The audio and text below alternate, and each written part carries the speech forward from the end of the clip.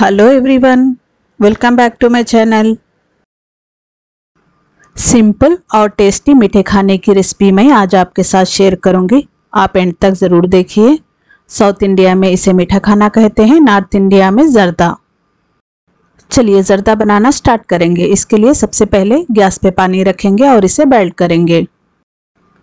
देखिए, पानी बैल्ट हो रहा है। अब हम इसमें डालेंगे बासमती राइस बासमती राइस को मैंने अच्छे से धोने के बाद आधा घंटा बिकने के लिए छोड़ दिया था। अब इसे पानी से निकाल कर बॉइल्ड होते हुए पानी में डालेंगे। चावल को डालेंगे बॉइल्ड होते हुए पानी में और पानी की क्वांटिटी भी ज़्यादा रखकर इसे हाई फ्लेम पर पकाएँगे तो चावल खिला खिला और लंबा बनेगा। अब हम इसे मिक्स करेंगे। नॉर्मली जिस तरीके से बासमती चावल बनाए जाते हैं, बिल्कुल उसी तरीके से इसे भी पकाएँगे। अच्छा आपको एक बात और बता दें। आप बासमती चावल जो भी रेसिपी में यूज़ करें, जैसे कि पुलाव, तहरी, बिरयानी या फिर जर्दा, उसे आधे घंटे पहले ज़रूर भिगा दीजिए, तभी आपको इसका रिज़ल्ट अच्छा मिलेगा। देखिए, ये तकरीबन 60 परसेंट तक पक चुका है। आप चाहे तो इस तरीके से फिंगर से भी इसे चेक कर सकते हैं। इसे और थोड़ी देर हम पकाएँगे। चावल पकाने का पूरा प्रोसेस हम हाई फ्लेम पर ही करेंगे। अगर लो फ्लेम पर करेंगे तो चावल का दाना पानी को सोख कर मोटा हो जाएगा। इसीलिए हम हाई फ्लेम पर ही इसे पकाएँगे। देखिए, ये 95 परसेंट तक पक चुका है। अब हम गैस की फ्लेम को बंद करेंगे। चावल में से पानी को निकाल देंगे। इसमें पानी बिल्कुल नहीं रहना चाहिए। इसे मैंने छन्नी में डालकर सारा पानी निकाल दिया है। अब इस पर लीड लगाएँगे। लो फ्लेम पर 30 सेकंड तक इसे छोड़ देंगे। 30 सेकंड में ये अच्छे से दम हो जाएगा। 30 सेकंड हो चुके हैं, अब हम गैस की फ्लेम को बंद करेंगे। गैस की फ्लेम बंद करने के बाद और 30 सेकंड तक इसी तरीके से छोड़ देंगे।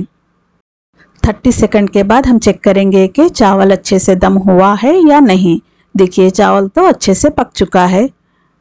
अगर आपके चावल में थोड़ी सी कनी रह गई हो तो उसे लो फ्लेम पर और 30 सेकंड तक रखेंगे तो वो अच्छे से दम हो जाएगा।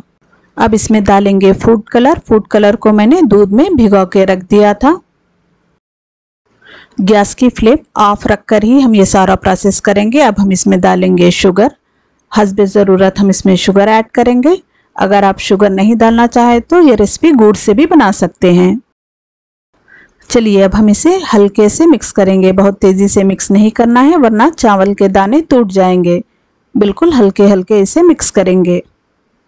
आप तो ये रेसिपी कई बार बनाए होंगे, लेकिन एक बार आप मेरे स्टाइल से भी बनाकर ज़रूर देखिए। फिर हमें कमेंट बॉक्स में बताइए, ये रेसिपी आपको कैसी लगी। अगर पसंद आई हो तो मेरे वीडियोस को लाइक ज़रूर करिए। बिना सब्सक्राइब किए देख रहे हो तो सब्सक्राइब भी ज़रूर कर लीजिए फैमिली और फ्रेंड्स को भी शेयर कर दीजिए। साथ में बेल बटन भी प्रेस कीजिए ताकि मेरे मज़ेदार रेसिपीज़ आप तक आसानी से पहुँच जाएँ। देखिए, ये तो अच्छे से मिक्स हो चुका है, अब हम इसमें डालेंगे तीन हरी इलायची का पाउडर गैस की फ्लेम ऑफ़ रखकर ही हम ये सारा प्रोसेस कर रहे हैं। अब हम इसमें डालेंगे वन टीस्पून देसी घी। देसी घी डालने के बाद इसे दोबारा से मिक्स करेंगे। गैस की फ्लेम को ऑफ़ रखकर ही हम ये सारा प्रोसेस करेंगे। देखिए, चावल की गर्मी से शुगर काफ़ी हद तक मेल्ट हो चुकी है। देखिए, ये तो अच्छे से मिक्स हो गया है, लेकिन आपको लग रहा होगा कि इसमें कुछ दाने वाइट रह गए हैं। लेकिन कोई बात नहीं, जब हम इसे पकाएँगे तो सारा कलर इक्वल हो जाएगा। दूध को मैंने पहले से पकाकर गाढ़ा करके रख लिया है, अब हम इसमें डालेंगे। अगर आपके पास दूध पकाने के लिए टाइम नहीं हो तो आप मार्केट का खोवा भी यूज़ कर सकते हैं, लेकिन खोवे में थोड़ा सा दूध डालकर उसे हल्का से पतला कर लीजिए, फिर इस पर डाल दीजिए। खोवा डालने के बाद अब इसमें डालेंगे कुछ कटे हुए ड्राई फ्रूट्स फाइनली चॉप बादाम डालेंगे। अब हम इसमें डालेंगे किशमिश। किशमिश डालने के बाद अब डालेंगे फाइनली चॉप काजू। ड्राई फ्रूट्स आप अपनी चॉइस के हिसाब से कम या फिर ज़्यादा कर सकते हैं। चलिए अब हम इस पे लिड लगाएँगे और गैस की फ्लेम को ऑन करेंगे। तकरीबन 30 से 40 सेकंड तक इसे हाई फ्लेम पर पकाएँगे। हाई फ्लेम पर इसे पकते हुए 30 सेकंड हो चुके हैं। अब हम इसकी लिड निकालेंगे। इसे अच्छे से मिक्स करते हुए हाई फ्लेम पर एक मिनट और पकाएँगे। अगर चावल को शुगर में ज़्यादा देर तक पकाएँगे तो चावल हार्ड हो जाएँगे, इसीलिए हम सिर्फ़ एक मिनट ही इसे पकाएँगे। हाई फ्लेम पर इसे पकते हुए एक मिनट हो चुके हैं। अब हम गैस की फ्लेम को बंद करेंगे। एक बार और इसे मिक्स कर लेंगे। देखिए, अभी तो ये गीला लग रहा है, लेकिन इसे हम ढककर आधे घंटे के लिए छोड़ देंगे। चावल, सारे दूध को और पानी को सोखकर बिल्कुल सूखा हो जाएगा।